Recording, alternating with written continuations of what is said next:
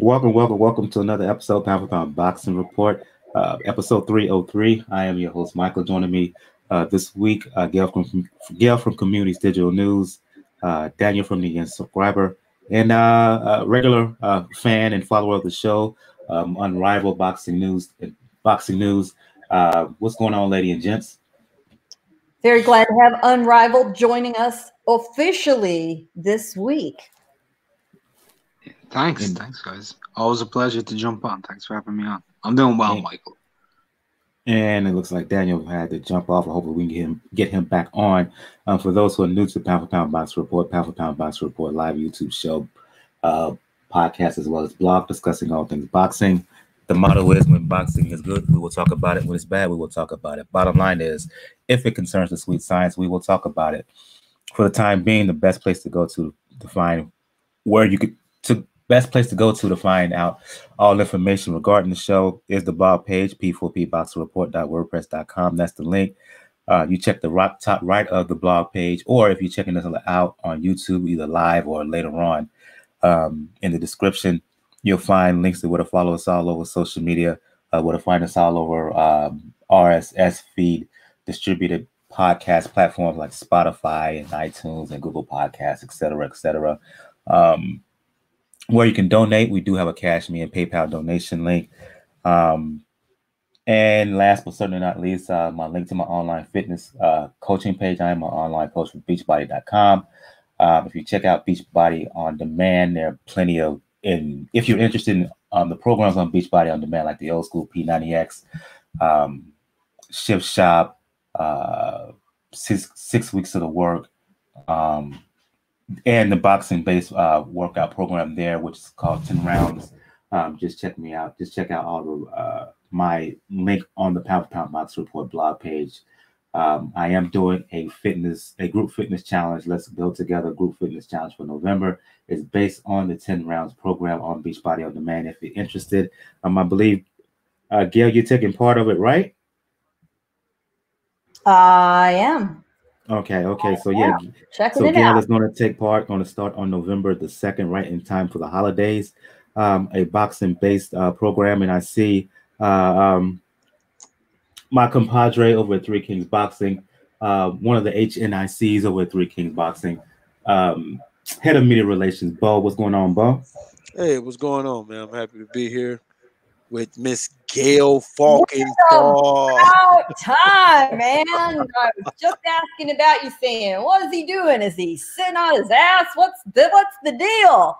Glad, Man, glad to have you back. Glad thank to you so you back. much. And uh, I don't know who who who is unrivaled. Oh, my name Um, is I- Mark. My Mark. name is Mark. I'm from Uh, Ireland. I have a channel on YouTube and I write some like freelance work for some newspapers in Ireland. I bet, bet. Yeah, I'm just glad to be here, man. Um, what can I say, man? Uh, man, what a weekend. Indeed, indeed. Again, if you want to check out all that information, go to the Pound for Pound Box Report blog page, or just hit the description um, link below if you're checking us out live on YouTube. Let's get things going. Uh, let's just talk, just get into it right now. We all know what the big fight was this weekend. Uh, been talked about for months. Months, a lot of hype on ESPN, um, in particular. Uh, that is Vasiliy Lomachenko, uh, Teofimo Lopez, um, lightweight unification bout not undisputed um, espn not undisputed. Um, lopez and i'll go to you on this one first Gayle and then you can follow up bo and, and mcgregor. Lopez surprised many by the way he performed. He won by decision unanimous decision. Um, 16 10 17 11 and 19 uh, 10 on the three judges scorecards. Tale of two halves first half second half. First half uh, lopez did a uh, he surprised me by how patient he was. He surprised me how well he boxed. Loma on the other hand i don't know what he was doing. Um, he did too much surveying the scene too much trying to look things through. And then once he discovered in round seven or so that that he was behind then he stepped it up Lopez got the decision, Gayle, but for me and um, others, how can I put this? It's been a lot of back and forth in the aftermath about the judges' score scorecard. some felt that uh, Lopez not just won but dominated. There are others like myself and and, and Bo and others who we can say we can feel that Lopez. If you feel that Lopez won, fine, but the judges were far too wide. I personally felt that way. That 119, 110 card that was just ridiculous. Even the 1711 card. That means you gave. That means you gave Lopez 11 rounds on one card and like nine rounds on the other card. To me, there's no way. Your breakdown, your breakdown of the fight, Gayle. Were you surprised by what you saw from both men? And and and speak a little bit on the scorecard itself. I was not only surprised, I was incredibly impressed at the way Lopez won. We all expected that if Lopez won, Lopez Jr. won, it would be uh, through a power shot, through a mistake. Lomachenko makes a mistake, and Lopez Jr. tags him with more force, but in a similar way uh, as Jorge Linares did. That is not how it went down. It went down without him delivering any kind of power punch beatdown like his previous fights.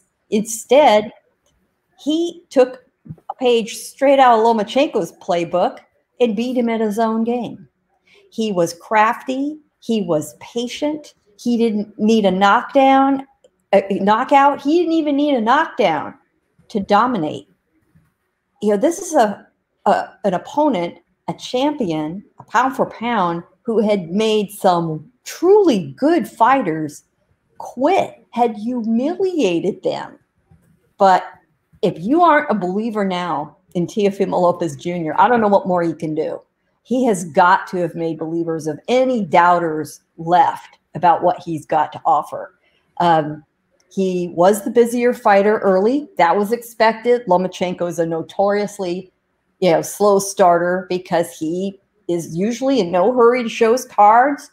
You know, he's he's there. He's assessing. He's calculating. He'll throw a counter punch and he'll move. He just never got out of that mode by about the third round, you had to think, well, what's he waiting for?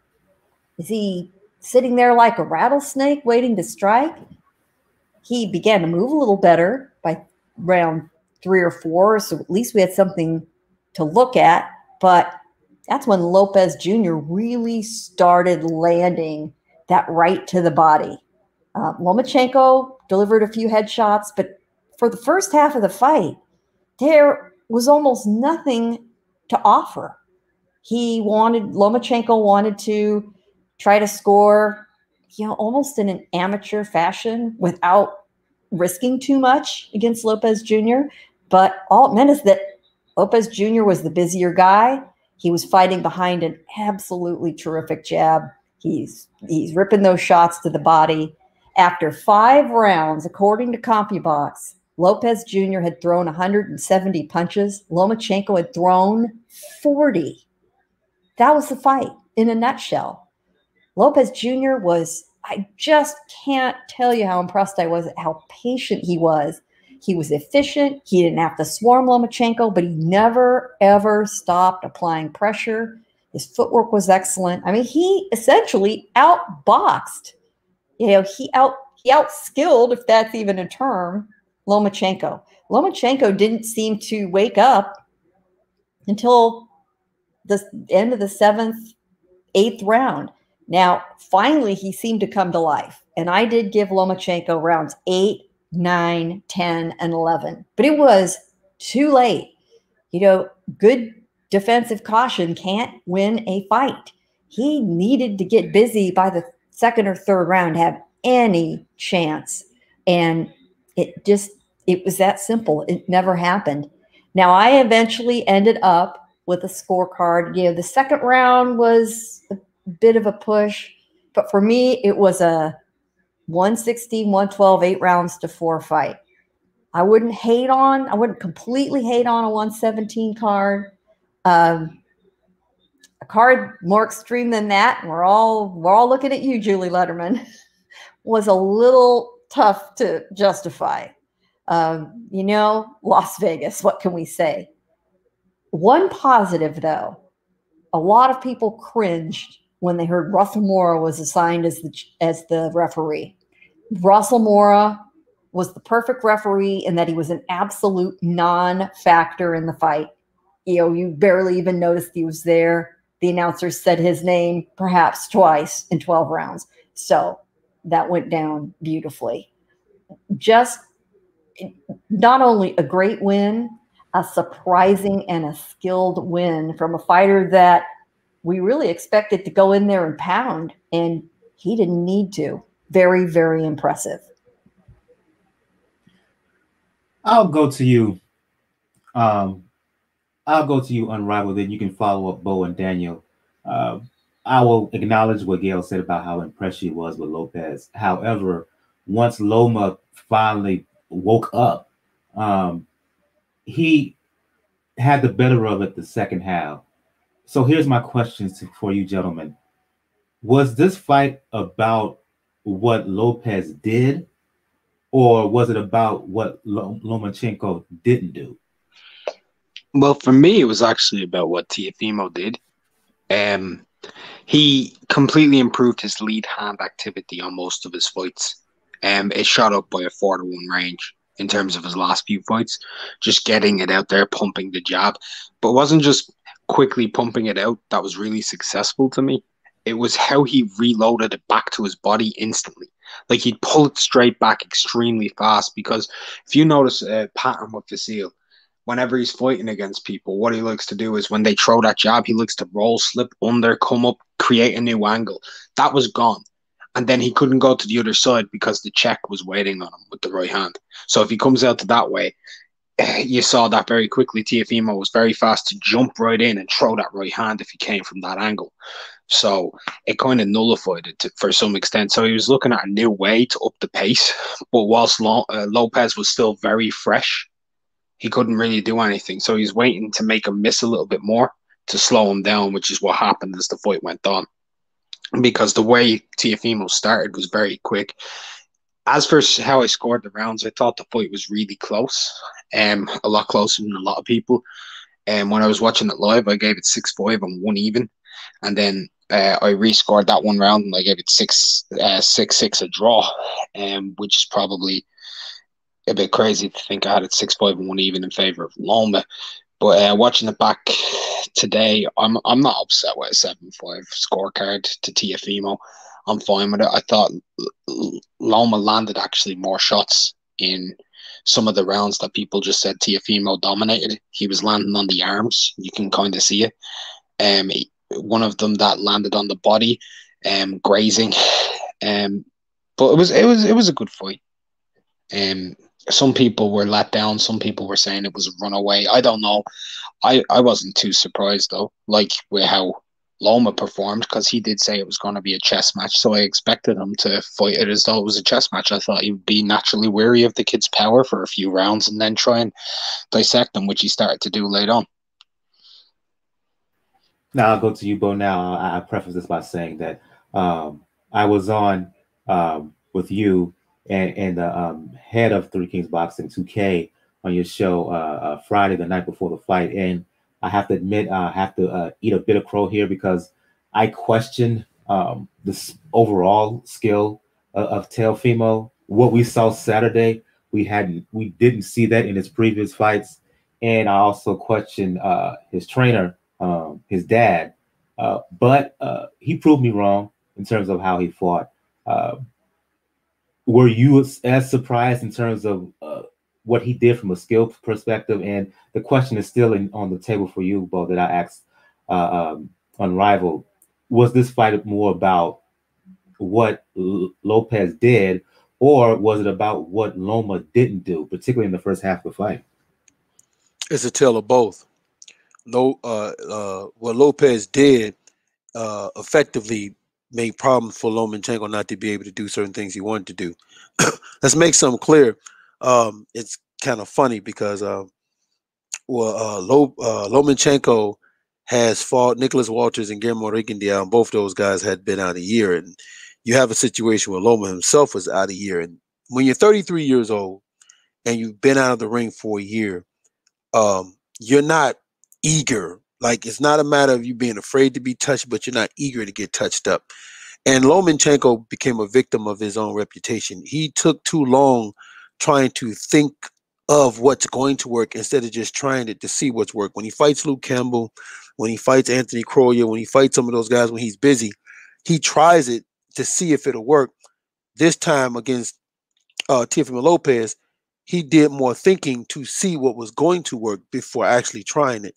Uh, and it also goes to Teofimo Lopez. He came out laser focused, and the first thing he did, which reminded me of Marco Antonio Barrera, he was establishing the jab with the southpaw. And a lot of time, people tell you, you know, the most effective punch is the right hand against the southpaw. Well, he was able to establish a jab, and he was actually he was mixing up with the hook. Um, when me and you was on the show, I said that if he's gonna have to use that athleticism to keep up with Lomachenko footwork. He was able to do that. When Loma pivot, he was able to pivot. Um, but once Loma realized what the ultimate thing that was gonna work, which was the same thing Tio was doing to Loma, he applied pressure. And once he realized, oh, applying pressure back is what's gonna work for me, that's when you see it come on. Now everybody talk about the scorecards. Um, uh, rounds two and round seven were tough rounds. They were swing rounds. I had uh, Lopez winning that fight seven to five. Okay. But let me just say that 119, 109, that is a card that you filled out on the airplane trip to Las Vegas. That is not a card you actually sat there and you watched the fight. 119, 109 is you telling me I don't even want to see you in the ring anymore. Like I'm done with you which is ironic because Julie Lederman was one of the judges that actually uh, judged more Lomachenko fights. And the only thing I can think of is because of Lomachenko not being able to do what you normally used to seeing him doing, it gave the impression, oh, well, Lopez is dominating. But that scorecard takes away from how great of a fight this was. Um, back when I used to watch boxing way back in the day, the scorecards, even if you didn't watch the fight, you could hear the scorecards, and the scorecard pretty much told you the story of the fight. If you heard a scorecard that was 114, 115, 113, like, oh man, that must have been a very good fight. So you wanted to watch that fight. This scorecard, 119, 109, and even 117, 111, those two scorecards is going to make it look like this guy dominated a top pound for pound guy, and that's not what that's not what happened, unfortunately.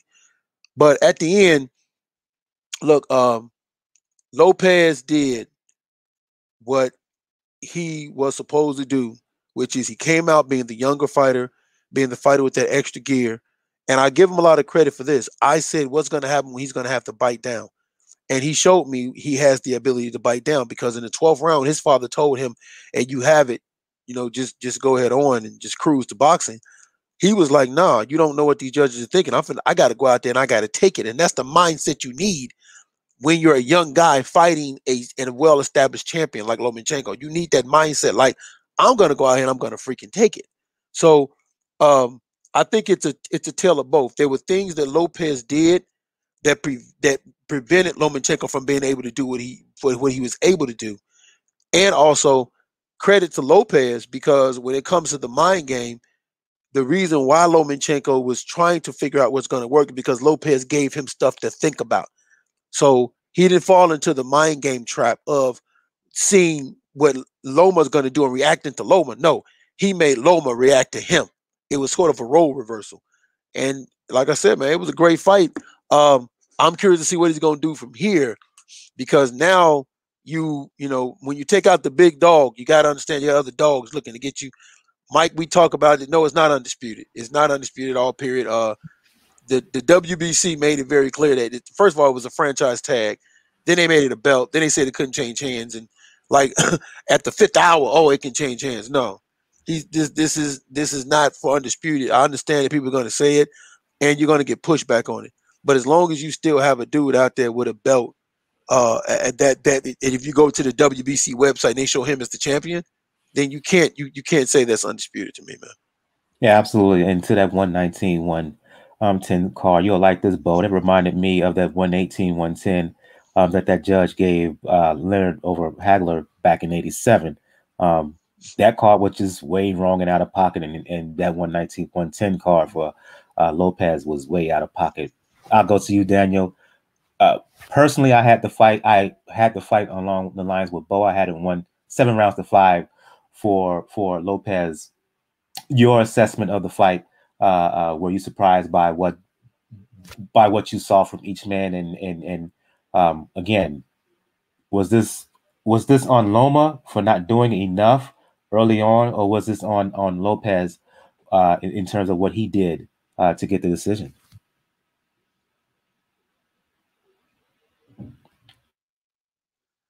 to me, not so much what Lopez did, as much as what he didn't do. He didn't do the mistake that a lot, if not almost, of the major power punchers that have faced Loma before have done. Which is the thought is if you can just bum rush Loma, not get him to think, you'll land a shot and you'll win.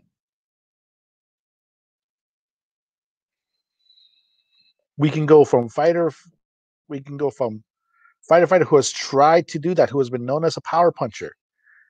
And the results up to saturday have been the same. Loma just uh, outworks you when it comes to footwork gauges your distance and then once he realizes you don't have much of a plan he strikes. Lopez didn't do that. Lopez actually was a patient fighter in this instance. He started with the jab. He started going to the body from the first round, but he wasn't trying to just go to the body and then immediately try to get a kill shot. He attacked the body with patience. He made sure that he didn't give Loma any sense that he thought it was just he was going to try to blitz through. And unfortunately for Loma, that tendency to start slow, like I know what they said was he was he was downloading data on, on his opponent. That ultimately was probably his undoing. Like he put himself in a very, very deep hole in the first half of the fight. Where he had to come in close. He had to come in and start applying pressure in the second half of the fight in order to stand a chance on the card. That's mainly on Loma, and that's mainly on also Papachenko because that means also that Papa Lomachenko thought the same thing. Oh, he's just is going to be another young power puncher. He's going to try to bum rush through, do what you normally do. He's just going to fall like the rest. And when that didn't happen, when Loma applied pressure and Lopez didn't get flustered and get out of his game plan to it. In fact, he changed on it. If you notice a, few times, I think it was like in round eight through 10, you started noticing that whenever Loma started to apply pressure, Lopez was sidestepping and then answering with the right uppercut.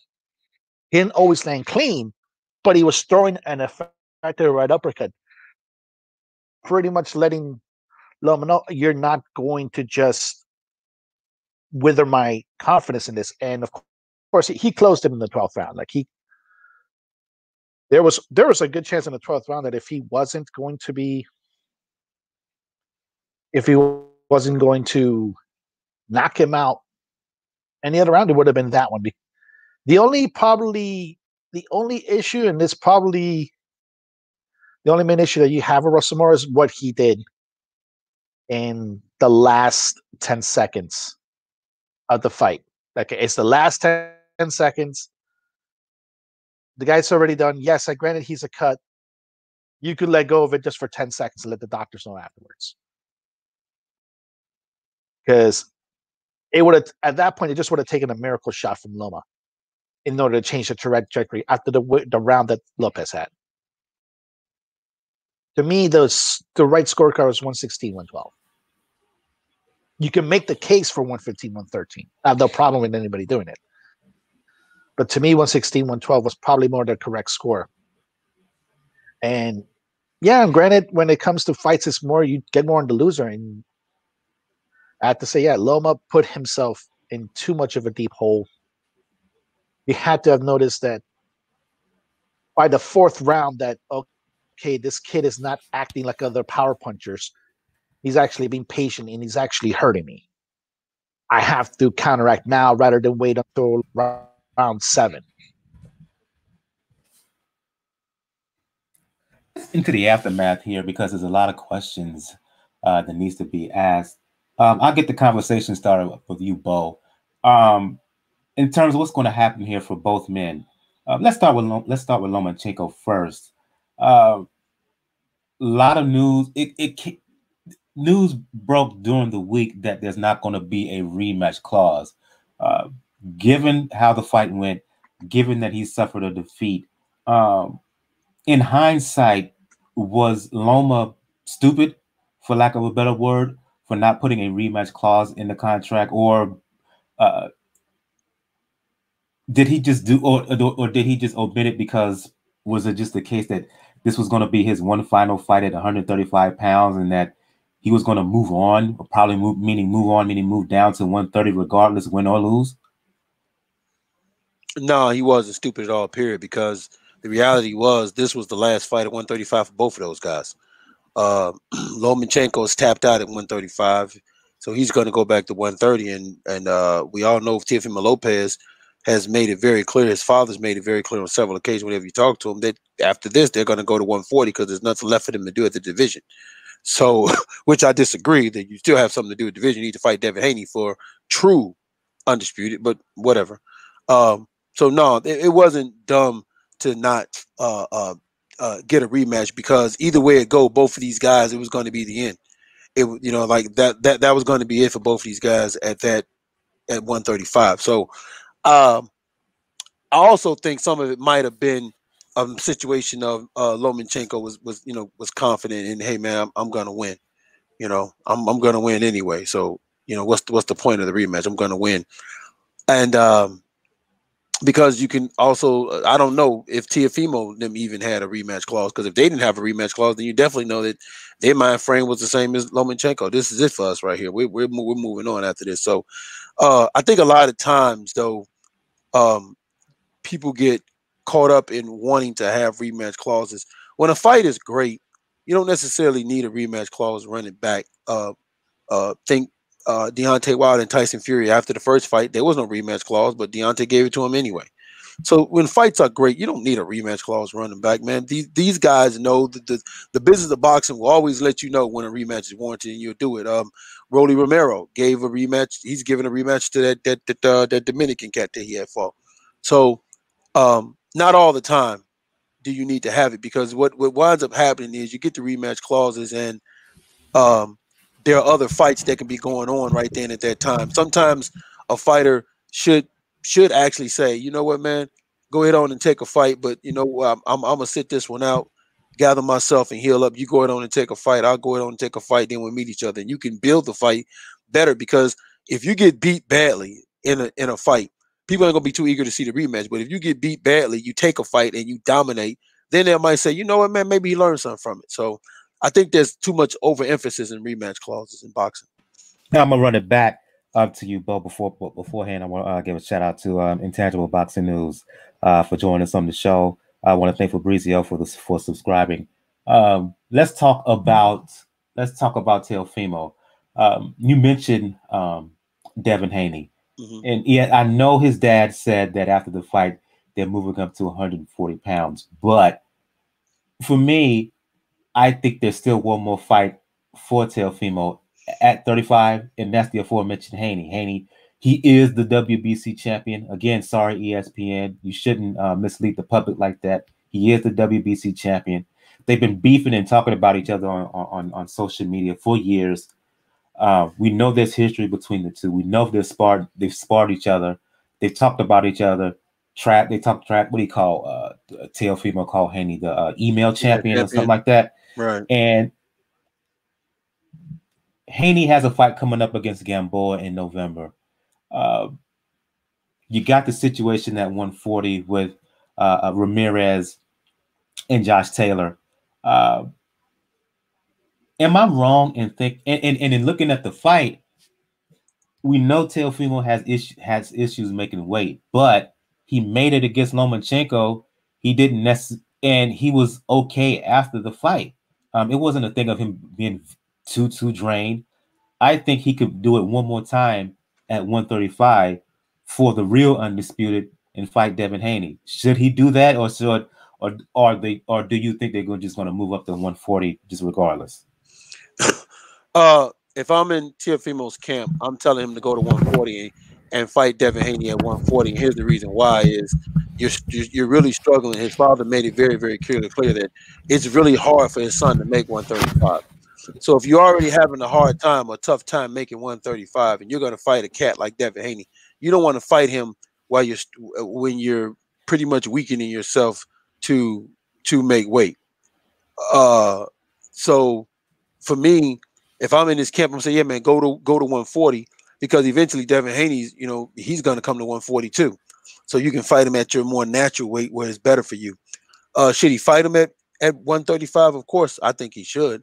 But if I'm in his camp, I'm advising him not to. And and and I'm gonna say it again, man. I know people are gonna the, the thing about undisputed is gonna be argued uncontinuously, but the bottom line is when the organization couldn't even explain to you what the rules were when the inception of it comes. I take you back to me. So Sulaimán said, it's confusing to me too. Right? So you took this from a franchise tag to making it a franchise belt. You took it from being it can't not something you can lose now to something you can be just for this fight. No, I'm sorry. I, I can't I can't go with something that you couldn't even explain yourself and if we allow them to make shit up as they go along, then we're just as guilty as they are in being complicit with the bad shit that happens in boxing. Uh, there's no way we should be allowing this, knowing that, hey man, you guys made him a franchise, and Devin Haney on your website is shown as your WBC champion. No, there's there's no way you can you you know where you can say undisputed. ESPN was saying four belt champion. Uh, now all of a sudden the franchise tag became a belt, but it was a tag that became a belt that couldn't be transferred over. And all of a sudden, just for this one fight was transferred over. If we allow if we allow this organization that has made this up as they went along, could not explain it since the exception. And oh, and by the way, the month of the fight decided to say, oh, it's going to be for undisputed. If we allow them to do that, then we're just as guilty as everybody else for whatever for the bad shit that happens in boxing. And we need to just right now say, okay, it's okay to screw all these guys and and and and allow them to get this tag so they don't have to fight nobody coming up no more because it's criminal what the fucking WBC just did, man. And short hold them accountable. Uh, of how it hold basically just hold them accountable. They just you, as watchers, as listeners, as media folks, you just can't allow that stuff to get away, allow them to get away with it. You just can't allow them to just mix shit up as they go along. Um, I'll go to you, uh, uh, McGregor, and then and you can follow um, unrivaled, and then you can follow up uh, Gail. Future of Loma, future of uh, Teofimo. What you think? Um, I don't know with Loma. I think he's going down to 130. That seemed to be the gist of things anyway. That he was going to go down to 130, win or lose after this fight. Um, for Tio, I think he's gone up to 140. There's some good fights from up there. Um, I'd like to see him in there with Zepeda, which probably won't happen. Maybe Jack Catterall. They can get that to happen in the meantime while Ramirez and Taylor get going, so he can get acquainted with the weight. Maybe uh, Cesar Cano, some good fights from there. Um, as for like if he wants to stay at 135, he should fight Devin. That'd be a cool fight to have. Me personally, I hold a different account of things to you guys, and you know the way y'all were saying like hold them accountable for the shit they're doing. The WBC, I don't recognize them as a sanctioning body anymore. That's my thing. There's no point. It's too confusing. You've got like 42 champions. So I, I, I can't I can't keep up with it. They they're like the WBA only worse the super title, at least there's a little bit of a difference. But this is something where you can be a champion, but you're not a champion, but you can win a diamond belt, but you can get a designation that gets sent over to you while you're carrying receipts that are two belts, but only one belt, but isn't a belt. That's too complicated. It's like playing Cluedo in the dark. Yeah. Mauricio Sulaimán's turning into Oprah. You get a belt. You get a belt. oh, Speaking of um, there was an extensive post-fight news conference. In fact, I was surprised how long first Lopez Sr., then Lopez Jr. helped. Right. Yeah, it was. It was extensive. You're right Yeah. about that, Gail. Lopez Sr. was adamant. He saw no reason for his son to stay at 135. He said he's been suffering at this weight for seven years. And I understand that. I do. And I respect that. He feels he needs to move to the 140 pound division to take on the champions there. Now, here's what's interesting the fight coming up on the Usyk Chisora undercard between George Kambosos Jr. and Lee Selby is for the IBF mandatory against Lopez Jr. Should he stay at 135? He probably won't. So I don't know what that means. That means sort of meaningless. What seemed to light Lopez Jr. up was the thought of listen, if Jose Ramirez and Josh Taylor unify and I move up, I fight the winner and I win, I unify another division in record time. And he seems very eager for that accomplishment. And he'll probably need to do a mandatory or a tune up or something before then. Uh, really, a tune up if he's going to 140. I- just can't see him staying at 135. He did mention fighting Devin Haney. He was specific about take take it to 140. And he says, I love messing with everybody, man. So when asked about a rematch, his exact quote, which was striking, he said, Would he entertain a rematch? And he said, For what? For what? They didn't give me a rematch clause for a reason. He's got to suck it up now, out with the old, in with the new. He made his attitude very, very clear. So as for Lomachenko, he's going to drop down. 130 would not be a terribly difficult division for him. What about fighting the winner of, of, Berchelt and Valdez? Uh, I don't see it. Oscar's not gonna uh no. I mean uh don't so. if Berchelt win, Oscar's not gonna let that happen. I I think he will want a clean slate and moving down to, to a smaller weight division. I don't think he'll move down as far as 126, but I do think he'll move to 130 and try to rebuild his legacy. I, I think he just needs to leave this weight division behind. And I think that is going to be his reason it, it for losing the fight. You can call it an excuse, perhaps, that he was fighting you know, a guy way too heavy for him. If that's what it takes for him to straighten his head around and move forward, okay, we'll see. I, I do think he's got a, a lot of soul searching to do. His father in the corner kept telling him, be patient, be patient. Be patient for what? A meteor to strike? Lopez Jr. in the middle of the ring? Well, what the hell was he waiting for? It was a frustrating fight to watch because you know that talent is there was it ring rust? Was he afraid of losing by knockout and preferred to lose the way he did? Just being nibbled to death the whole way down? It's hard to say. Final question. I'll get the conversation with, started with you, Daniel, then everybody else can follow up.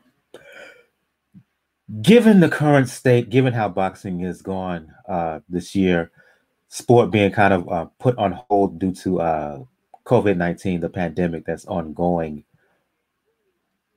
let's just say nothing major or upset or anything happens uh, for the fights later on this year. Does this win make Teofimo Lopez the 2020 fighter of the year? No. No. Uh you said it doesn't make I it 20 probably say yeah, he's in the running. uh-huh. Wait, no, he's like I said, I would say he's in the running, but it doesn't mean he make it. And, and that point about it because it's come so it's come so close, and this year is going to be very very tough to gauge, unfortunately, because of the way the pandemic has worked. Uh, now, now, if we did a hurry up like really really fast and fought Haney 135, that that'd be really nice because it just mainly depends on how everything needs to shake up. He is he's gonna get consideration just because of fact of who he beat.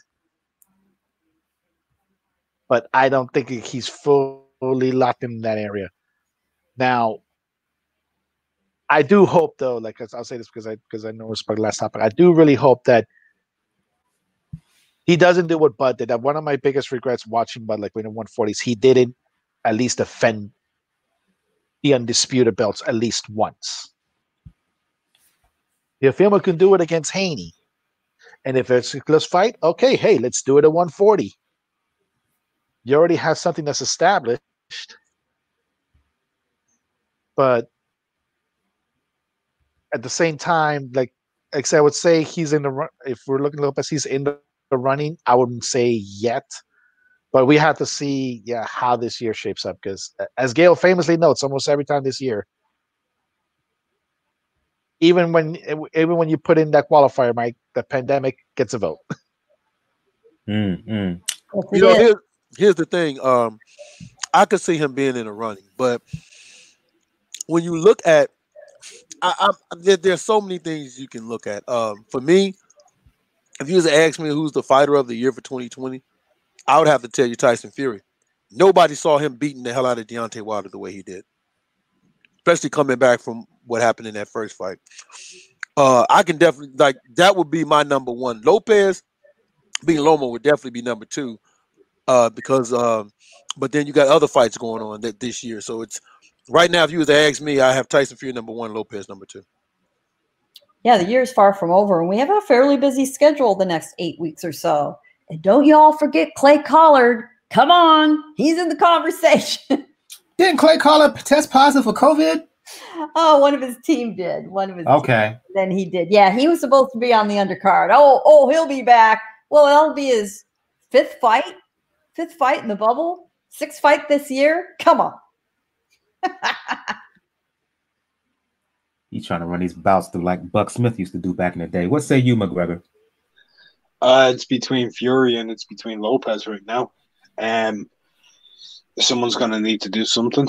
I mean, who knows? Maybe Kubrat Pulev knocks out Joshua inside two rounds and he's fighter of the year. Who knows? could, oh, it could happen. It, hey, Povetkin knocked out Dillian Whyte. Now that was if Pave- actually if Povetkin knocked out Dillian Whyte again, if he knocks out Dillian Whyte yeah. again, I'd give it to him. Yes, yeah, that yeah. I agree with. I agree with that. Yep, you're right. Mm-hmm. Yep, remains to be seen. Um, let's move on to a fight on the undercard. Don't forget Jessica McCaskill. Yeah, yes. about her. Thank yes, you. thank you very much for one for her win over uh, uh, uh Braekhus earlier this year. I, I didn't the, think about that. Yeah, but yeah, don't yeah, they have a separate right. ruling? Don't they have like a separate category, like a women's fighter of the year and a men's fighter of the year? Fighter of the year. Um, you know, technically no, but a lot of us have started adding so that there are two, so they don't have to compete with each other. It's sort of like you know, best best actor, best actress. Do you combine them? Do you keep them separate? Um, for now, they're still separate. Okay. Let's move on to one other fight that I want to focus on in terms of this card, or one fighter to be specific. Wait, wait, wait. Um, before, before, go ahead. Wait, wait, wait, Mike, Mike, Mike, Mike. I, I just need to say something. Wait, Bo, how much? How much did that hurt? How much did that hurt you to say that? To say what? Or did it give you like flashbacks of of Braekhus losing again? Oh, Reminding them how Braekhus lost. you mean uh, Jessica McCaskill beating Cecilia Braekhus?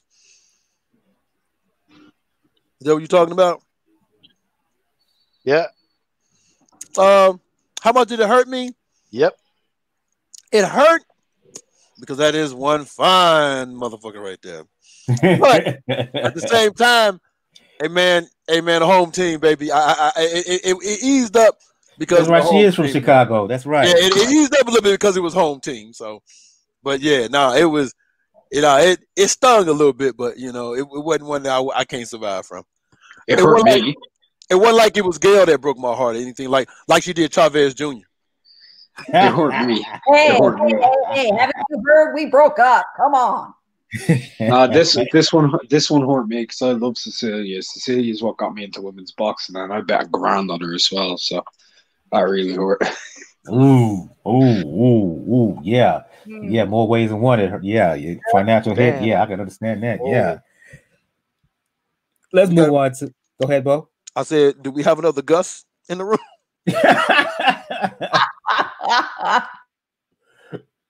Shout out to Gus, man. Shout out to Gus. Shout out to Gus. Um, or EJ. Yeah, yeah, I, yeah. Shout out to the homie EJ over in um over in the UK. Um, one fighter I want to talk about who was fought on this card. That's um Berlanga, Edgar Berlanga, uh, rising middleweight, super middleweight. He fought a guy by the name of Bellows, and I, I'll go to you. I'll go to you, McGregor, if you saw this fight. Okay, he quote unquote TKO'd him in one. First off, I thought it was a quick stoppage. Second, and more importantly, um, Top Rank are giving a lot of this, this guy a lot of hype lately. Uh, you saw the coverage on ESPN if you watched it there on the stream, and they're making this guy out to be basically another coming of a, a Julian Jackson or Gerald McClellan, a big punching guy. Here's my question: based on what you've seen from him, is he worthy of the hype? He's got a lot of power. Uh, well, what seems to be a lot of power. I mean, but for me, I don't think he's worthy of the hype he's getting. I see other prospects who've impressed me way more in that division, like Melikuziev, you know, um, who did a number on a very good fighter, in my opinion, Vaughn Alexander, who's tough as nails. I'd love to see Berlanga in there with somebody like uh, Vaughn because we know Vaughn will take him rounds and hurt him and make him struggle and tire him. Um, I don't, he's just loading up on power punches from start to finish, isn't he? Really landing on people, hitting them, and the referees are just stepping in for half of these stoppages. Just like, yeah, it's over. He's landed a punch on you. You're out. I need to see more. I haven't seen the kid throw a jab. I actually haven't seen him beat somebody to a jab yet. The two jabs that he threw against Bellows, Bellows actually landed before him, and there was a massive reach disparity. So, I don't know. I don't know. He looks powerful though. Yeah, what say what say everyone else in the um, panel? Well, say what you will about Lanell Bellows, who, who came to boxing late in his career. He uh, was a football player. He uh, had never been stopped. He's never been stopped in 27 fights. So Berlanga was expected to at least go some rounds. I found the first round knockout in this fight a bit surprising. Um, you know, he reminds me a lot of Lopez Jr. Everybody said, oh, this next fight, no, he's going to be ex- exposed or you know he's not that good and uh, he kept passing the test passing the test. I we do need to see berlanga go more than a round it's not going to serve him well in the long run. If he doesn't get somebody a little more rugged who can stand up to the punches who can show him something a little more technically sound um, but i think there's plenty of talent there and god knows there's plenty of attitude. So I can take a guy a long way. Um, well, I thought the when a guy's never been knocked out or even uh, resembling being hurt or knocked down, you got to give him a chance. Now, I did pick Berlanga winning by first round knockout, but I thought the referee should at least gave the guy he fought a chance. I mean, this guy's never been knocked out before, so you got to give him a chance at least to touch the canvas and see what happens. Uh, so I thought it was a bit early. I mean, it was enough time left in the round, so he probably would have still got him out of there. But if now that I've seen what I've seen, my thought process is okay, that's it. No more of these type of fighters. Now you need to fight somebody in the top 15, top 15, top 10. That's what you got to do now because uh, knocked everybody out in the first round. So there's nothing to prove with the D and C level fighters. You clearly you're above them. Now we need to see you with the B's and the A's. So that's what I'm saying. Top 15, top 10 fighter. Your next opponent should be like a Jose Uzcategui, uh, Anthony Dirrell. Uh, you know, you know, guys of that caliber. You know, that's what you need to be focusing on. Uh, hell, eh, hell, even a Chris Eubanks, freaking, you know, Junior. You know, somebody that will test you, and we can see those rounds because we're interested. In, it's interesting to see what happens once he gets into those second, thirds, and fifth rounds where he got to pull the extra gear when there's not there's not a lot of you know stuff on on the punches right now. You know, uh, hell, um, you know, David Lemieux, uh, you know, stuff like that. So those are the guys we I, I want to see him in. Stop with these dudes. Stop with these guys that they're feeding him. Obviously, he can beat them. Clearly, he can beat them. You know what I'm saying? Look at the Jurgen Brähmers. Uh, look at the like I said, David Lemieux, the uh, uh, Dirrell's, uh, uh, Anthony Dirrell, uh, Jose Uzcategui. Look at those guys now. Look at the, the, really, really, really more durable guys that we know are durable at that level. I wouldn't hate that. Wouldn't hate that at all. Mm-hmm. One last uh, uh, kind of boxing topic I want to talk about. I didn't put mention in the chat. Um, some controversy has arose over the fight that took place this weekend between um, Lewis Ritson and and Miguel Vasquez. Uh, Ritson won the fight by a split decision. A lot of people felt he did not deserve the win, but in the aftermath of that, um, British Board of Boxing, British Boxing Board of Control, um, has launched an investigation um, into uh, ringside judge Terry O'Connor. Um, in the aftermath of the bout, uh, after the bout, I should say, Eddie Hearn of Matchroom um, posted a picture on Twitter in which O'Connor was apparently uh, observing, looking at it, looking through his cell phone, uh, his smartphone during the fight. Uh, for anybody who wants to pick this up, bad enough that Ritson got a decision he a lot of people felt he didn't deserve, but on top of that, the issue with O'Connor, uh, what does this say? Uh, referees checking out their phone in the middle of the fight when their focus should be on the ring? What the hell? Well, I think the thing is, it appears to be a phone. Some people saying he looked at it. I saw somewhere they said um, he was looking at a scorecard, not a phone. Um, at the end of the day, you know, the judging for years have always been something we've scratched our head out, but particularly 2020 seemed to have thrown everybody the freak off. The only thing that worked it well was the replay with the so-called knockdown that happened. I think it was Alex Acedo fight. That actually worked it kind of well with that replay. They they they didn't take very long. They called it what it was. But um for, for, first, let me just say this: for, for, Eddie Hearn to do that, to release that video, that's that's kind of wrong. He should have took that to the British Boxing Board of Control. when you release that video in the air, and you say that, hey, he was looking at his phone, that's what people are going to think they're looking at is him looking at his phone, because it's the power of suggestion. You know, like if I was to say something that's not true, like Daniel is pretty, that's the power of suggestion. We know that is nowhere near being accurate. you lucky that you had to still you had to step away for a second. you know, but he shouldn't have done that. He should have. I heard him. I heard him. Uh, he should have said, "Hey, I think this guy's looking at his phone, and give it to the British Boxing Board of Control. Let them launch an investigation before the public opinion can be deemed to how they're going to sway this. So I think that was completely wrong. But let's keep it real though. That fight, I will forever be a Lewis Ritson fan because when I can't sleep, that's the fight I'm going to watch. When I can't get any sleep, when I have, you know, when when I can't close my eyes, when I've been up all night so long that I can't sleep, I'm going to watch Lewis Ritson because he really truly is the Sandman. Hell, he put me to sleep without throwing a punch. So that's the fight I'm definitely gonna watch. Now, I will say this: I'm glad that they're investigating it. I think boxing should should do that more often. We should do that over here more often. But I think it's wrong the way Eddie Hearn went about it because when you put it out there in the ether like that, you leave it up for public opinion to sway people. Because mind you, he don't put that video out, people don't start getting outraged. Do the British Boxing Pro, Boxing Board of uh, Control do an investigation? Probably not. But when you say it's a cell phone, without making confirming it's a cell phone, like I said, because people are saying he looked at a, he was looking at a scorecard. But the bottom line was he shouldn't have put that out there. Should have took the hey, I got this video. I think he's looking at cell phone. Please investigate. That would have been done a heck of a lot better to me, in my honest opinion. Yeah, watching him fight is uh, the equivalent of taking a couple of melatonin to get you some sleep for for insomnia.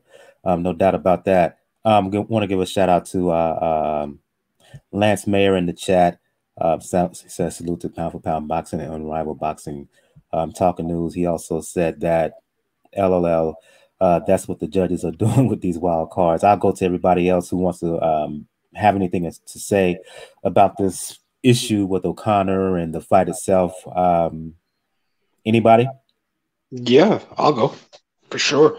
Um, first thing first, I want to I want to say this: uh, Eddie Herndon isn't the one who put that video out there. That was done by Oscar Bevis, uh, someone who's worked for IFL TV and Boxing Social and other media outlets uh, in on YouTube.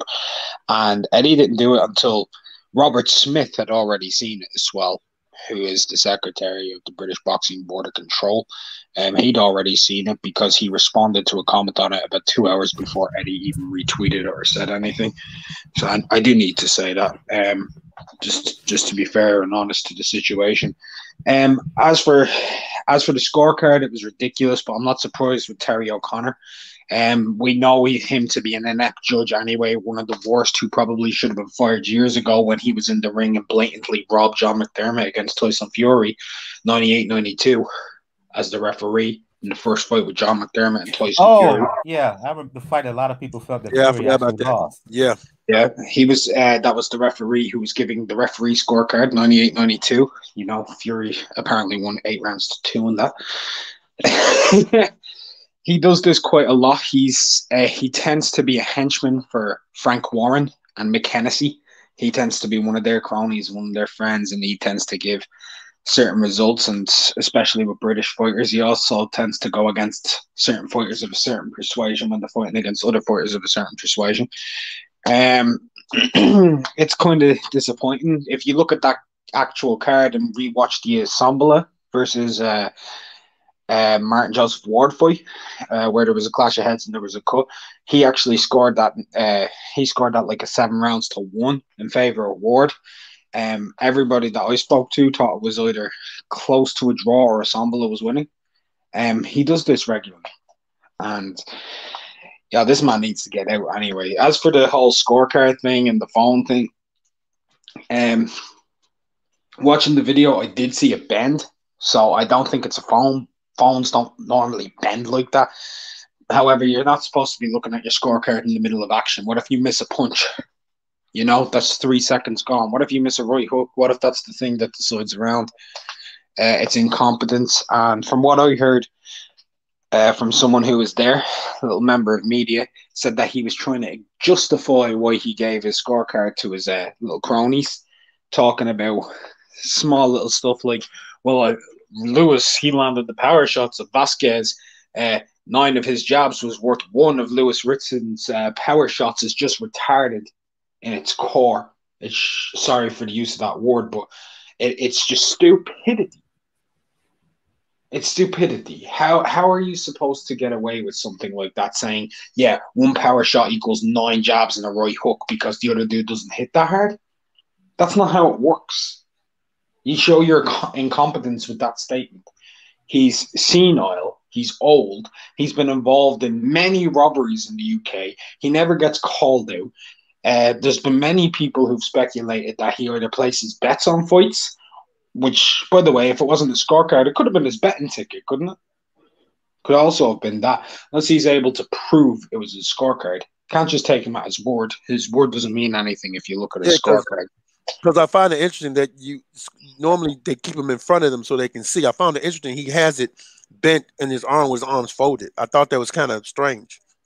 Yeah, very strange. But then again, he is fat and old, isn't he? I don't like him. So he's probably trying to relax as much as he can. I can't stand Terry O'Connor ever since I met him four years ago. He doesn't smell. He does. It, you, you know, one of those people who doesn't even smell nice, just smells kind of disgusting. He looks Damn. and is how he is. I don't like him. I don't want them in the sport. I think he's been involved in match fixing for years. So Tell us how you really feel. Tell us how you really feel. Um, Yeah, anybody else? who- I think he ahead. is related to Gus, man. He's got to be. you mean uh, unrivaled? Yeah, he, he has to be. Because Gus would probably Gus would probably say the same thing. No, no, no, no, no, no. No, no, wait. No, he has to talk cryptocurrency before he, we can officially say that he's with Gus. I can link you in a Paralink if you want. Let's move on. Um, Ah, there it is. um, I didn't mention the news in the docket because I didn't see much noteworthy news. Uh, so I'm going to give everyone here an opportunity if there's anything that you found uh, newsworthy uh, uh, to talk about it uh, right now. So the floor is to anybody in the panel who um, saw anything that perked their interest in, in, in, in the boxing landscape. Yes, I did. Uh, every now and then I like to troll, see what's going on. And I couldn't help but to troll Miss Gayle Falkenthal. Oh, I saw a picture of Gayle with her bright red hair and her her her her, her little uh, matching mask on, and I swear to God, her cheeks was puffed up, and I was like, "Is she smiling with a mask on? What is the point of that?" And I just had to ask, "Why are you smiling with a mask on, Gayle? You can't see it." Why not? Why the hell not? Wait a minute. Wait a minute. Don't you know the art of the smize? Don't you know? Haven't you followed Miss Tyra Banks? Taught us all how to smile without having the grin. Come on. I'm just a cheerful gal. What can I say? Anyone else? Because Okay, um, well- I, outside of the um, Andrade flight, because I, I refuse. You might as not- I said before. No. I have standards. Well, No. you might. We we do get we do get Well, media. actually, McGregor might actually know this. Uh, uh, there is no noteworthy. We do um, have media workouts, virtual media workouts scheduled back to back tomorrow and Wednesday for Gervonta Davis and Leo Santa Cruz. Those will be streamed live on the Showtime Sports YouTube channel. So you see, you can see Santa Cruz tomorrow at what will be two o'clock Eastern time, and Gervonta Davis will be at 9 p.m. Eastern Time Wednesday night. So you get a little look at them. And I'm interested to see how close to weight Tank really is. We all know that's what we're going to be looking at Wednesday night. Mm, mm. What were you going to say, Daniel?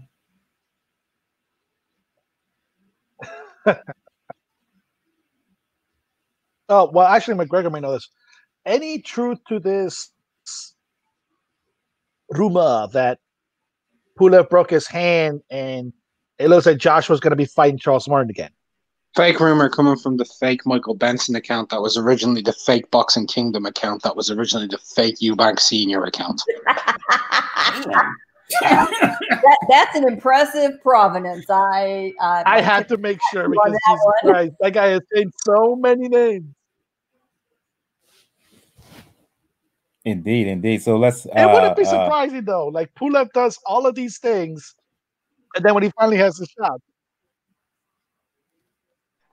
Yeah, I was on Pulev's official Facebook page yesterday. He's confirmed that he's fighting only yesterday, so no, no truth to the rumors. Because normally Pulev posts on Facebook when he's pulling out like four days before mainstream media gets it, because he's only got like tw- like four thousand followers and they all speak Russian.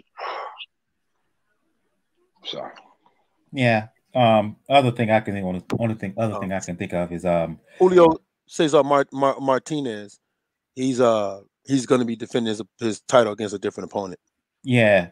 Uh, we are gonna um jump on that. Only other thing I can think of is the uh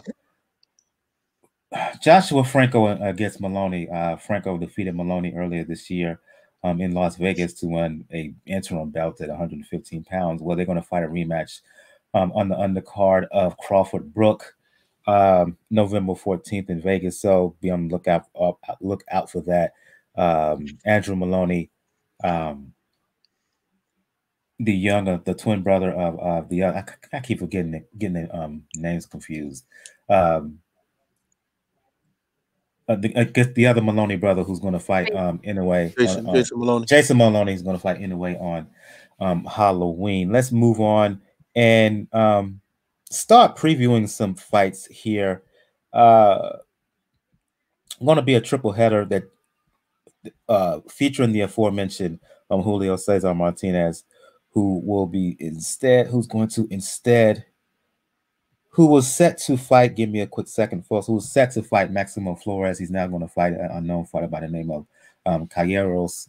But let's talk about the other two fights on that card. It's going to happen in Mexico City. Um, I'll go to you on this one, Gayle, because you've been hearing some things about whether some of these fights will go off or whether the event will go off in itself. The headline, well, cold headline by two bouts. Um, Chocolatito, Roman Gonzalez is going to fight Israel Gonzalez.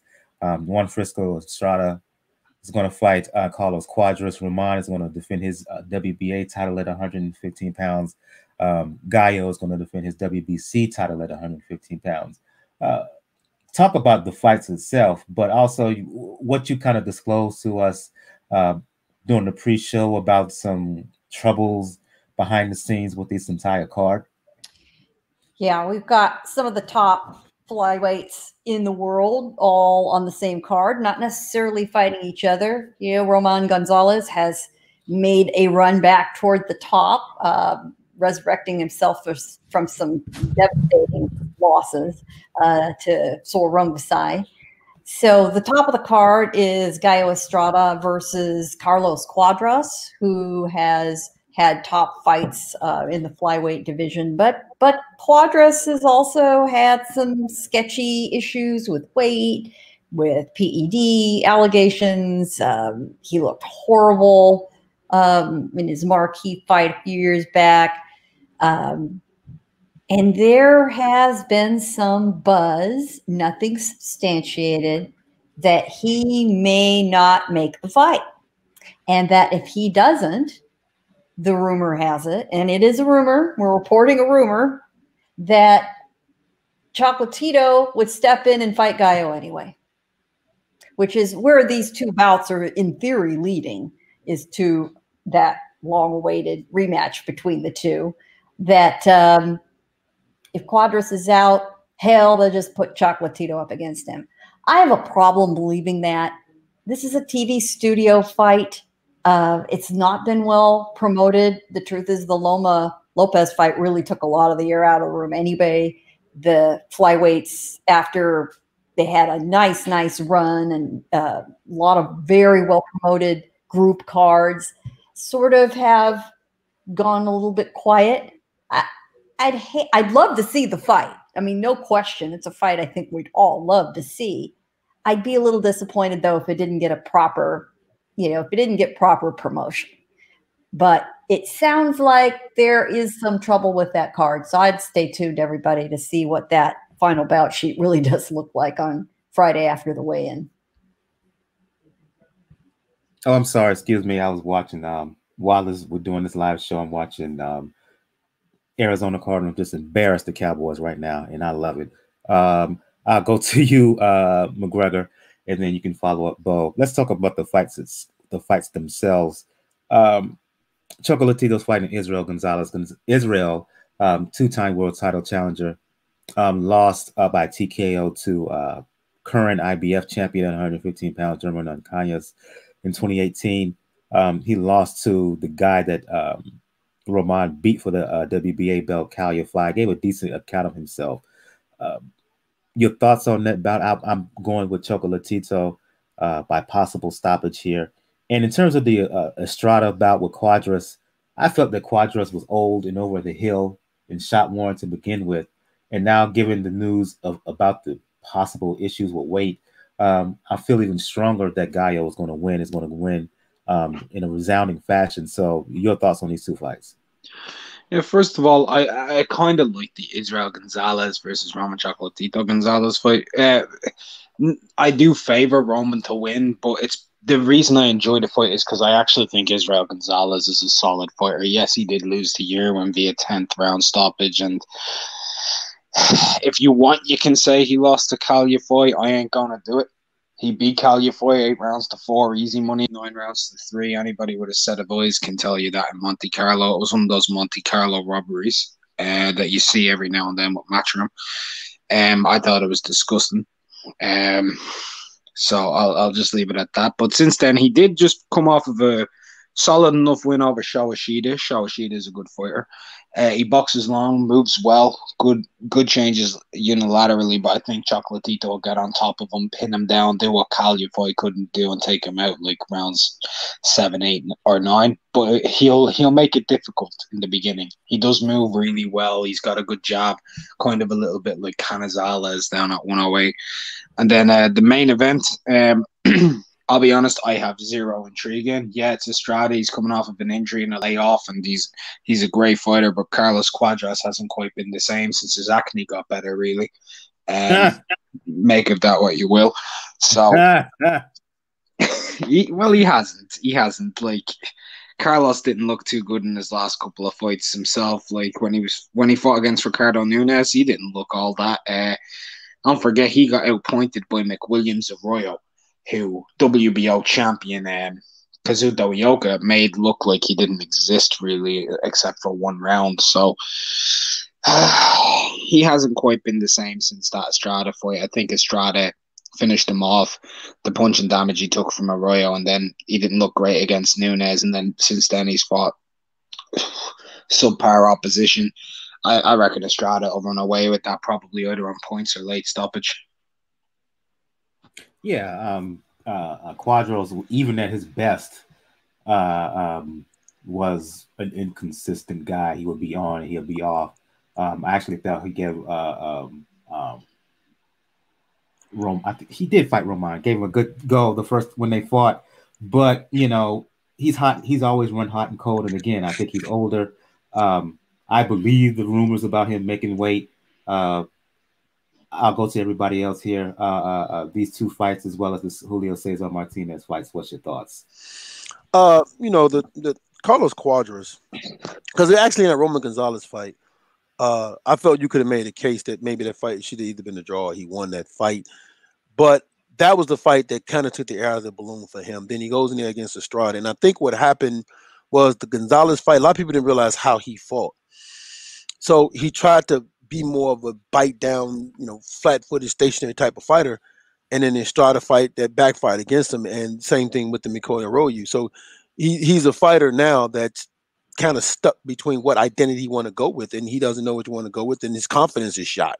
Like here's a dude who was a a, a long time reigning champion whose confidence is now shot now. So I don't. Uh, I mean, yeah, he had a couple wins over a couple of you know you, you know who you know who gives a shit, but um yeah, I, I I think that the losses to those big guys, it, it's kind of like a, a, a Ricky Hatton effect, right? You lose to Floyd, then you lose to Manny Pacquiao. So when you lose to big name dudes that you felt you should have win, it it does something to your psyche. And then he goes off and he loses to McWilliam Arroyo.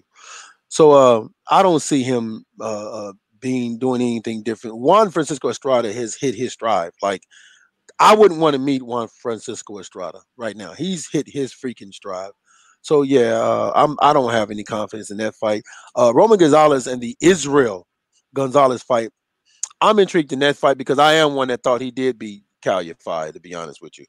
And I think, as a matter of fact, I think that's the fight when uh, I think you know they realize, okay, we got to get Kal Yafai in there in a big money fight because he's about to take an ass whooping and they did. That's shortly after. I think he had some subpar fight. They put him in there, Roman Gonzalez, and you know we we haven't you know we, we haven't heard from him since.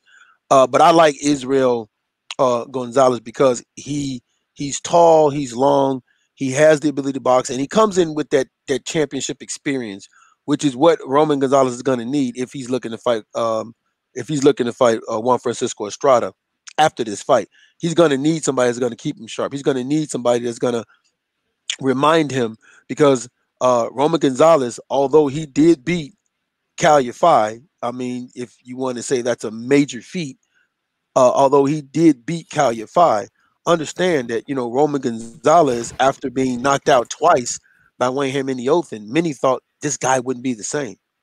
So uh, if he wants to get back to being that monster he was, which it seems like that's what he's doing, he, he I like this fight with Israel Gonzalez because if, if he can stop Israel Gonzalez, he can hurt Israel Gonzalez, that's the Roman Gonzalez I want to see in there with Juan Francisco Estrada. Like I want to see that dog, that guy from 2012. I want to see that guy in there with, with Juan Francisco Estrada. So I'm I'm heavily invested in that fight, that the, the two Gonzalez's fight.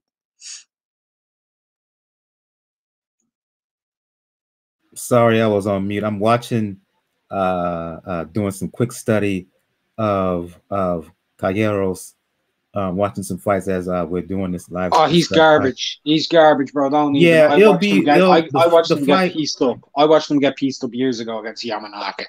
He's garbage. At 105, he got wrecked. Yeah, it'll be it'll be entertaining while it lasts, but this guy his, his punches are wide. He's not slow, and and as we know, uh, with Martinez, he's a little Brahma bull. He's a Brahma bull in there with a mean streak like nobody's business. Uh, um, yeah, nothing against Calleros, but um, based on what film study I'm doing right now, um, the champ, uh, he's going to punish this guy. Um, plus, I don't see the power um, from Calleros to hurt Martinez, and you need to have power in there to get his respect, or he'll run you over. Um, so I'm just based on the observation I'm watching now. Martinez is going to. He's not only going to win. There's a good chance he's going to stop this guy. Uh, I'll, I'll go to you, Daniel. Uh, your thoughts on this uh, triple header that's going to happen uh, uh, Friday, I believe it is. On on it's going to be aired live on DAZN in Mexico City.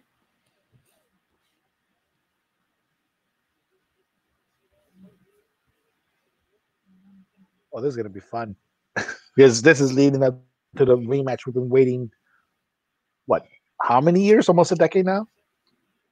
You see, but hopefully Cuadras doesn't do Cuadras things and just mimic uh, one of the people that he has been a lookalike of and just fucking things up. But my apologies. But the, to me, like I said, the, the Cuadras fight's going to be interesting to me just simply because Gallo knows what's at stake. Gallo knows he remembers that fight with Chocolatito. He remembers that many people, including myself, thought he won that fight.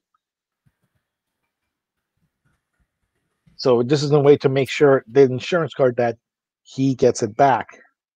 Now, I completely agree when it comes to the Chocolatito fight. We, eh, we all knew that Kal Yafai was always going to be the weak link in that division. We all knew it. And luckily, it showed itself against a good fighter. So this is lined up perfectly. Hopefully, nothing gets nothing really happens gets screwed up because if you get a situation where if Cuadras can make the fight and you just throw Chocolatito in there against Estrada, no. If that's the only option, no. Just to cancel the whole thing and then delay it. Give that fight the build it deserves. Apparently, what, the, oh, we were gonna we were gonna do this fight anyway, yeah. so we might as well give it to you now. And now, apparently, also with Cuadras, there's an issue of a bad COVID test, but he has since had a clear COVID test. So there, uh, he's still teetering on the brink there. You know, oh, this boy. this almost feels like Cuadras don't want to fight. I know I mean, that's I know that's the scary part. Right. Hopefully, he doesn't score yeah. Of course not, man. Yeah. Dude shot. Dude shot, and he knows he's shot. Yeah, he's yeah he's yeah he's shot warm. Yeah, he's taken a lot of heat too um, from some internet. Yeah, he's he's pretty he's pretty yeah he's they're really letting him have it. So I will be interesting to see 72 hours from now whether he really steps in the ring or not. One last one last thing. I'm going to you on this one, McGregor, uh, specifically. Last time you was on, but that's what I mean. Like if, if he does wind up screwing things up. Um, last time you was on on the show, uh, uh, McGregor, we were the one of the questions I asked you was about um, a card pe- uh, featuring um, Liam Williams, and you said a fighter uh, that we should pay attention to on that card is yeah. um, Dennis McCann. Um, I wrote yeah. about him for Three Kings um, in terms of in terms of a prospect to watch segment. Uh, you can check that out on threekingsboxing.com. Um, he fought on that card. I think he fought a guy by the name of Fado. Um, I'm pretty sure you saw you saw him fight. Uh, analysis of how he looked because I think um, I've seen him now and I think highly of him, and I know you think highly of, highly of him as well. I, I think really highly of him. Um, he, he, he's a really he's a really good kid, but um, he didn't fight on the card because he was withdrawn because his opponent didn't show up, so he didn't get to have his fight on the card, unfortunately, oh, which wow. was very disappointing. Yeah, he so he didn't have his fight. His last fight was still in August against Brett Fidel, I think. So, okay, the, he's huge. He's huge. Like when you have a kid, he, like I seen some publications listing him at five eight. I've I've been beside him. I'm a tall guy. He's five foot ten at bantamweight, man. He's five foot ten. He's huge.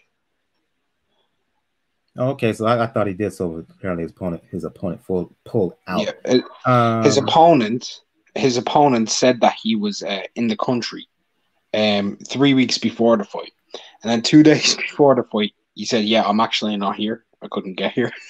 so, whoops. so yeah, that's what happened.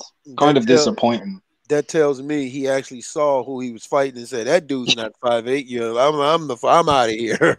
nah, because if you look at some publications, they have him at five six, some five seven, some five eight. He took one look at him in the. He took one look at this kid's highlights and said, "I'm out." He fight, he fights like Naseem Hamed, man. But the difference is like he's huge. He's massive. He makes like Man, he'd make Marquez look small, and he's a bantamweight. Mm, mm. Well, one more fighter I can throw in the mix, and I'll go to you on this one, Gayle. Um, Alexander Zayas, a guy who I interviewed um, here on Pound for Pound Box Report, as well as on ThreeKingsBoxing.com. You can check that interview out full uh, on ThreeKingsBoxing.com, as well on Pound for Pound Box Report on the YouTube page. Um, Zayas, 18 year old prospect uh, from uh, Puerto Rico. He currently resides in Florida uh, fought a guy by the name of Curtis. I know he's young, Gayle. He stopped Curtis by one round. I know we talk about Boots Ennis. I know we talk about Ortiz. Uh, uh, um, in terms of welterweights out there, there's another one. Who's the guy, Bo, who fights for Golden Boy? Uh, the welterweight. George Ortiz. Ortiz. Um, not uh, the other one. The other. Rashidi Ellis. Rashidi Ellis. Yeah, him too. Well, Zayas is the youngest of the group, but I think you give him a few years uh, uh, to get some fights and get some experience, just based on style alone, Gayle. He the kid has potential. He has real potential. Oh, yeah. He has real talent. Your thoughts? Absolutely, he does. Um, he's a good-looking prospect. He fights smart. He gets down to business. He doesn't flail. Uh, he's a super interview, as you know, and that makes a difference. Um, he's now six and zero.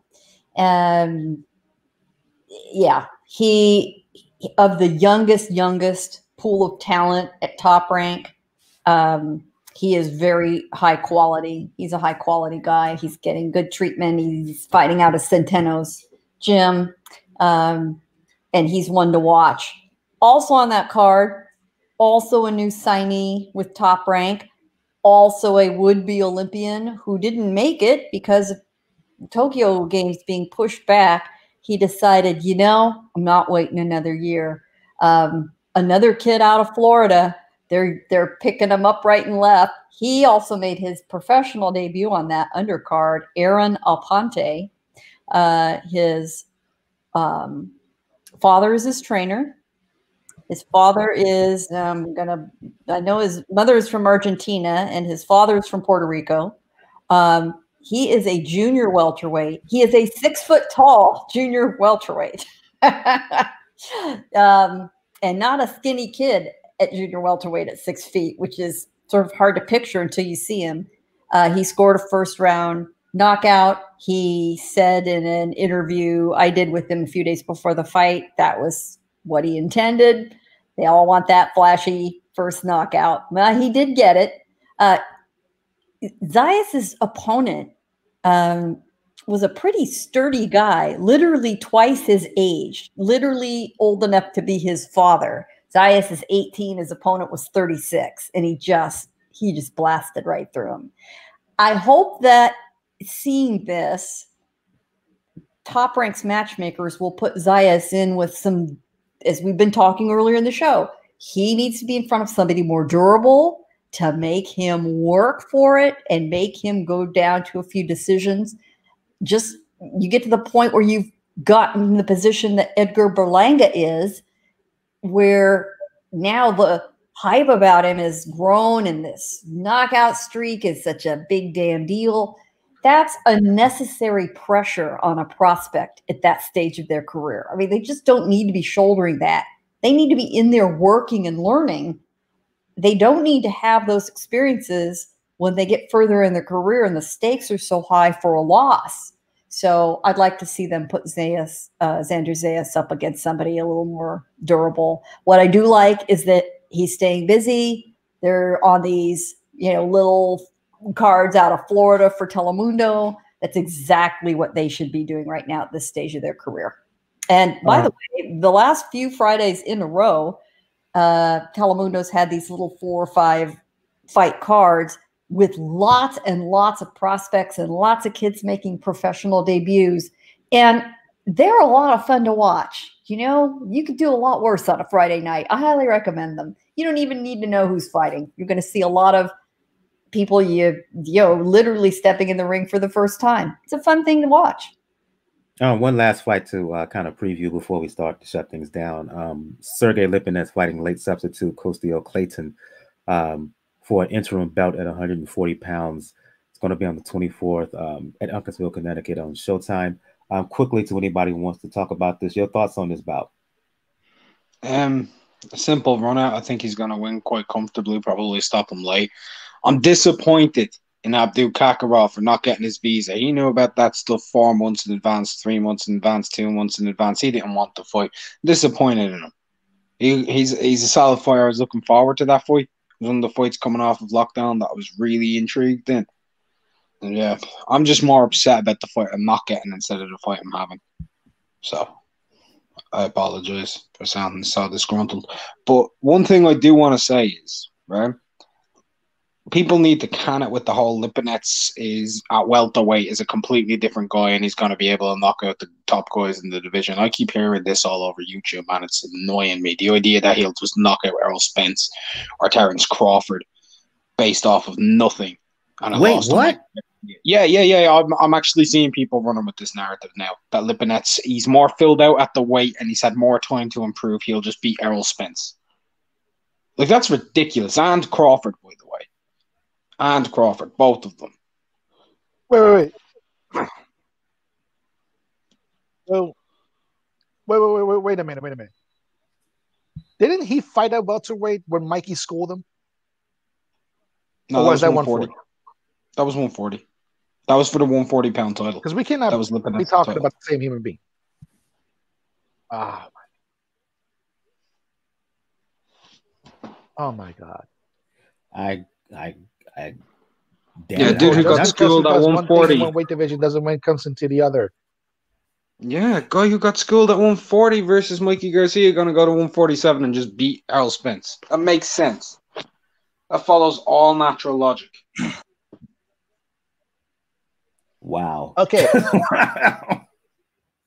okay. This is okay. I, I didn't say this in a Lomachenko fight, but but there's plateaus that people reach when it comes to fighters, the things that you are able to get a able to do well in one weight division won't transfer to the weight division. We just saw that on Saturday night against a credible opponent, a young opponent when it came to Loma. We saw that at 115 with Chocolatito against Rungvisai. You cannot think that okay, he's a, a solid fighter, does packed with a punch at 140 to think he can go up against welterweights, especially against people who are more natural welterweights. Spence, at the end of his career, everything goes well, he'll probably be a middleweight. But will probably stop at 154. People, come on. Yeah, that that rationale doesn't make a damn bit of sense. Um, do you want to, Michael? Do you want to know what I heard the main argument be? He retired Lamont Peterson and Spence didn't. Oh, That's hell. the main argument. That's the main argument. Oh hell. yeah, I'm, I'm just gonna leave that at that. Let them cook because they don't. Lamont, no, not a, Lamont Peterson hasn't been the same since Lucas Matthysse took his lunch. just yeah, just uh, we're gonna shut the Talking show on about that. the same Lamont ridiculous- Peterson hasn't been the same in the last eight years. Yeah, we're gonna shut the show down on that ridiculous theory that they talk about in terms of living that's gonna knock these dudes out of 147 because nah, son, nah, bro, just nah. Um, Gayle uh, from Community Digital News, she had to uh, step out. Um, for those who want to talk uh, boxing, want to talk media because she does teach media on the side. Uh, for those who want to talk Dancing with the Stars, I want to check her out on TMZ because she's pretty much a semi-regular on TMZ right now. Um, you can check her out on um, writing boxing, writing about boxing on Communities Digital News. That's com digi news c o m m d i g i news.com. Um, you can also check her out on Twitter at PR Pro San Diego. I'm going to go around the rest of the panel here, um, starting with you, Bo, my um, brethren over at Three Kings Boxing. As, as I said before, one of them HNICs, um, head of media relations for Three Kings Boxing.com. Uh, for the folks who want to talk to Sweet Science or anything else, uh, um, let the folks know where they can find you and um, give you promote. Uh, you do have you are in app development um, game. Um, so talk about the couple of apps that you got out right now.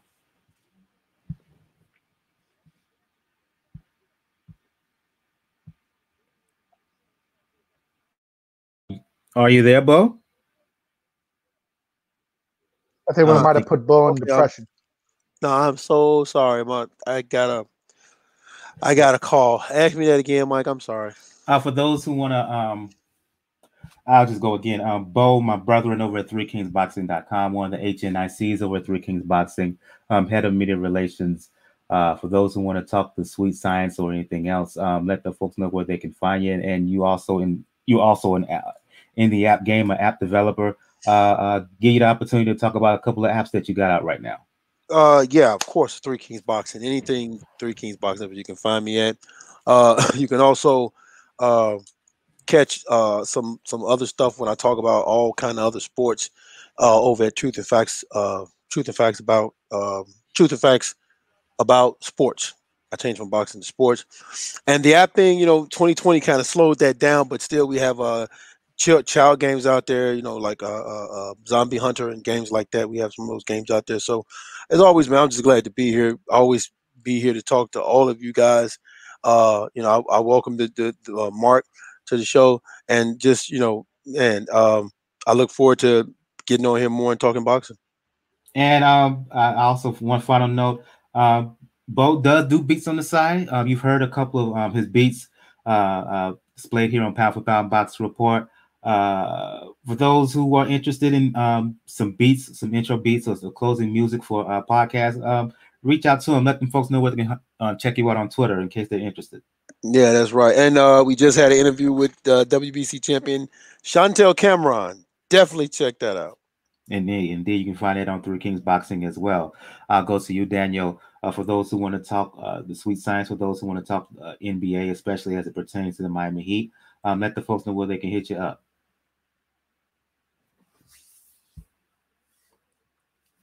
Uh, you can find me on Twitter at, at Rawkus99, R A W K U Z 99. And yeah, you can definitely catch talking a lot of things. In fact, I'm actually going to talk about starting the speech body thing because I lost my email, but I was trying to get started this week because it's about to be close Oh. to Thanksgiving. So you got to start getting pre Thanksgiving shape. Oh, cool, cool. Just hit me up on Twitter in case you need me to send you the link to the uh, uh, invite for the group challenge. Um, I'll go to you, uh, uh, Unrivaled. The reasons you hear me call him McGregor because um, I I've been talking boxing with uh, uh, uh, McGregor for years now. Uh, whether it's via um, EJ Boxing Live's platform or, or or Boxing Beats and Rhymes back in the day. So we've known each other for a while. So for Unrivaled Boxing, Mark, aka McGregor, and I've known him as McGregor um, from early days, three, four years ago now. Uh, for those who want to talk to Sweet Science or anything else, let the folks know where they can hit you up. Yeah, they can hit me up on my. I have a YouTube channel on Rival Boxing Talk and News. I've also got a Twitter page at MC Boxing Stars. So at MC B O X I N G S T A R S. Um, I post re- regular articles up there that you can find other things, historical topics, uh, breakdown, statistical analysis, and everything that you might need. Yeah, and Unrivaled, he's basically a, a, a walking boxing um, librarian. There are few, uh, whether it's within this YouTube boxing community or boxing podcast media um, space, there are few who there are few folks out there who know more than him. And I ain't talking just com- um, contemporary fighters as well. Um, he can talk old school boxing and old school fighters with the best of them. Um, so you want to really check out his uh, uh, page and, uh, and, and check him out on Twitter as well. For those who want to talk boxing, um, music, uh, fitness, you know what it is on Twitter, Brother JR at Brother JR76, as I said at the beginning of the show. Um, for all information where you can follow pop, Pound for Pound Box Report all over, the blog page is the place to go to for now, P4P Box Report wordpress.com, where uh, you can find uh, where you can um, find us all over social media, Twitter, Facebook, and all over there. Where you can check out the podcast on the all RSS feed distributed uh, platforms on places like Spotify, iTunes, Google Podcasts, Spreaker, anything else in between, Mixcloud, you know the deal. Uh, where you can donate, let donation be the best nation. Uh, we got a Cash Me and PayPal donation links, as well as you can check out my um, online coaching page um, let's get together. Uh, 10 rounds challenge starting November the 2nd. Uh, Gayle is going to take part. I believe Daniel's going to take part as well. Um, on the next episode, we will do a recap of that triple header in Mexico City with Roman Gonzalez fighting Israel Gonzalez, um, Gallo Estrada fighting Cuadras in the rematch, um, Julio Cesar Martinez defending his flyweight title against Caballero, and as well as the um, Uncasville card on the 24th with Lipinets and um, Clayton will be recapping those fights and Halloween weekend. Um, a lot of fights, a lot of fights. Um, Jaime Munguia uh, fighting Tureano Johnson on the 30th. That's going to be on the on the zone on the undercard of the aforementioned Rashidi Ellis, Ellis, who does not get the recognition and the attention that he deserves. Uh, rising welterweight prospect slash contender. Going to fight on the undercard of that. And then on Halloween night, man, the man, the boxing card is full. You got Inoue um, coming to Las Vegas to fight Jason Moloney. Um, on the undercard of that, Mikaela Mayer gets her long-awaited title shot. She's going to fight Brodnicka uh, for the WBO title at 130 pounds. Um, also on the 31st in San Antonio, Gervonta Davis is fighting um, Leo Santa Cruz at a fight at 130 pounds. On the undercard of that, uh, Mario Barrios fighting Ryan Karl. Um, uh, Rougarou is going to fight on the undercard as well. And over in the United Kingdom on the zone, um, Alexander Usyk is going to fight Derek Chisora.